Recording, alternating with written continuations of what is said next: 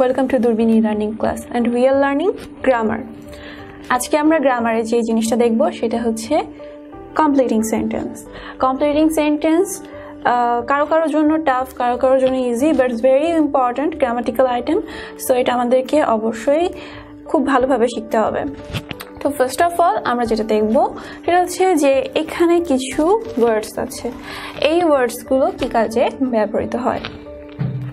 Till until before after when since এই ওয়ার্ডগুলো আমরা সময় প্রকাশের ক্ষেত্রে ব্যবহার করে থাকি। রিমেম্বার আমরা এগুলোকে সময় প্রকাশের ক্ষেত্রে ব্যবহার করে থাকি। তো আমরা ডাইরেক্ট রুলসে চলে যাই। রুলস শিখে গ্রামার পড়া সো টাফ বাট আমাদেরকে মনে রাখতে হবে দ্যাটস ওয়াই আমি তোমাদেরকে দেখাচ্ছি জাস্ট এক্সাম্পলসের মাধ্যমে so that you can memorize it so easily আচ্ছা এখানে টিল আর আনটিলের ব্যবহার আমরা দেখব, সেটা হচ্ছে টিলের ব্যবহারটা ফার্স্টে আমরা দেখি। রিড দ্য বুক টিল তো এরপরে কি হবে? আচ্ছা কমপ্লিটিং সেন্টেন্সের সব থেকে মজার ব্যাপার হচ্ছে, তোমাদের যদি সঠিক রুলসটা জানা থাকে, তাহলে তোমরা যে কোনো কিছু দিয়ে তোমরা ফিল আপ করতে পারবে। তোমাদের মনে যা আসে জাস্ট তোমরা সঠিক রুলসটা ফলো করবে। So read the book till এখানে আমরা কি দিতে পারি? তো আমরা এখানে দিতে পারি till I come back easy read the book till I come back টিলের পরে আমরা এটা দিলাম। ঠিক আছে? আচ্ছা সেকেন্ড একটা এক্সাম্পল আমরা দেখি। ওয়েট হেয়ার আনটিল আনটিল এই ওয়ার্ডটা ইটসেলফ নেগেটিভ তো আমরা পরের ক্লজে সাধারণত নেগেটিভ ইউজ করব না যদি এখানে আনটিল থাকে, তাহলে আমরা এখানে কি ইউজ করব? Wait here until I come back easy এখানেও যা ইউজ করেছি সেম জিনিস আমরা এখানে ইউজ করছি টিল আর আনটিল এই দুইটাই হচ্ছে সময় প্রকাশ করে থাকে। তো এখানে আমরা এটা এটা হচ্ছে এটা হচ্ছে অ্যাফার্মেটিভ ওয়ার্ড আর এটা হচ্ছে নেগেটিভ এই জন্য আমরা এখানে সাধারণত নেগেটিভ ইউজ করি না। আচ্ছা ওয়েন ওয়েনটাও কিন্তু অলসো সময় প্রকাশ করে থাকে। তো আমরা কিছু এক্সাম্পলস দেখে নিই। ওয়েন আই ওয়েন্ট দেয়ার আচ্ছা when I went there I found him আচ্ছা এখানে কেন আই ফাউন্ড হিম হলো? যেহেতু এখানে ওয়েন আছে। আমরা একটু দেখি। When plus I went there you know that এটা কি ধরনের টেন্স এটা হচ্ছে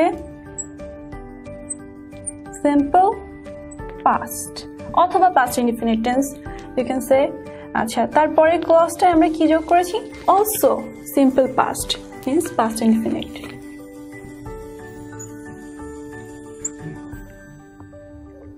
আমরা এখানে সিম্পল পাস্ট ইউজ করেছি। সো স্ট্রাকচারটা কি দাঁড়াচ্ছে? ইজি ফার্স্টে আমরা একটা এক্সাম্পল দেখলাম।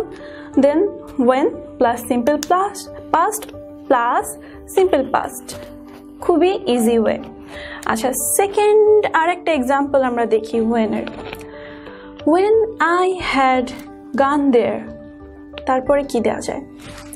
আচ্ছা তারপরে আমরা ইউজ করতে পারি আই ফাউন্ড হিম কীভাবে?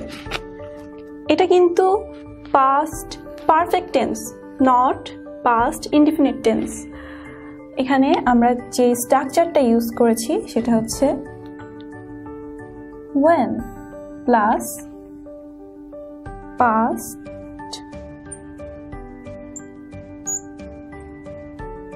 perfect past past indefinite আমরা এখানে পাস্ট ইনডিফিনিট টেন্স পরে ইউজ করেছি। তো স্ট্রাকচারটা কি দাঁড়াচ্ছে ওয়েন তারপরে পাস্ট পারফেক্ট তারপরে পাস্ট ইনডিফিনিট টেন্স তো তোমাদেরকে যদি সেন্টেন্সটা এভাবে দেওয়া থাকে ওয়েন আই হ্যাড গান দেয়ার তারপরে তোমরা সিম্পল পাস্টের একটা এক্সাম্পল দিয়ে দিতে পারো, যেটা তোমাদের পছন্দ। আচ্ছা তারপরের এক্সাম্পলটা আমরা দেখি, এখানে একটা সময় উল্লেখ আছে। Ten M is the time তারপরে কি হবে? আচ্ছা আমরা তাহলে ইউজ করতে পারি। Ten M is the time when I wake up 10 am is the time when I wake up তাহলে স্ট্রাকচারটা কি দাঁড়াচ্ছে স্ট্রাকচারটা হচ্ছে 10 am is the time এটা হচ্ছে প্রেজেন্ট ইনডিফিনিট টেন্স তারপর আমরা এখানে কি যোগ করেছি? এর সাথে একটা ওয়েন যোগ করেছি। আর ওয়েন এর পরে I wake up you know that এটা হচ্ছে প্রেজেন্ট ইনফিনাইট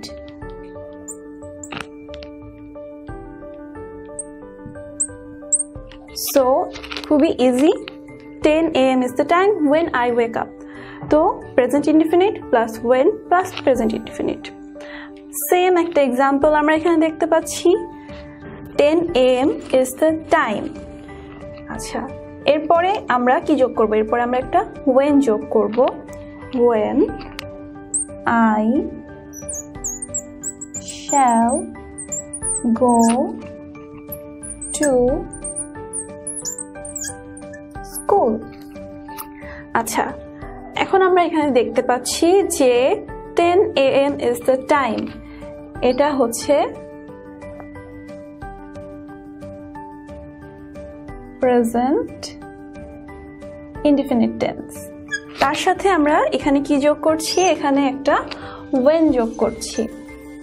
আচ্ছা ওয়েনের সাথে আমরা এখানে I shall go to school যেহেতু এখানে শ্যাল আছে, তাহলে লার্নার্স তোমরা ইজিলি বুঝতে পারছ। এটা হচ্ছে ফিউচার ইনডিফিনিট টেন্স তাহলে স্ট্রাকচারটা দাঁড়াচ্ছে প্রেজেন্ট ইনডিফিনিট যোগ ওয়েন যোগ ফিউচার ইনডিফিনিট টেন্স তাহলে যদি এই পাশে তোমার সময় উল্লেখ থাকে, তাহলে তোমরা এখানে ওয়েন যোগ করে প্রেজেন্ট ইনডিফিনিট টেন্সও ইউজ করতে পারো ফিউচার ইনডিফিনিট টেন্সও ইউজ করতে পারো। তো লার্নার্স এটা হচ্ছে আজকে আমাদের ক্লাসে আমরা শিখলাম যে সময়ের ব্যবহার কমপ্লিটিং সেন্টেন্সে আরেকটা জিনিস আমাদেরকে অবশ্যই মনে রাখতে হবে, সেটা হচ্ছে যে ট্যাগ কোশ্চেন অ্যান্সার করার সময় তোমরা সাধারণত অ্যান্সারগুলো তুলে দিয়ে আসো বাট এসএসসি এইচএসসি লেভেলে সাধারণত কমপ্লিটিং সেন্টেন্সে অ্যান্সার করার সময় তোমাদেরকে অবশ্যই পুরা ক্লজটা তুলতে হবে, পুরো সেন্টেন্সটা তুলতে হবে এবং অ্যান্সার করতে হবে অ্যান্সারের নিচে আন্ডারলাইন করতে হবে। তোমরা অবশ্যই এটা মনে রাখবে এবং এক্সাম স্ক্রিপ্টে ভুলগুলো করবে না। So learners thank you for watching next video দেখার জন্য আমন্ত্রণ রইল। soul.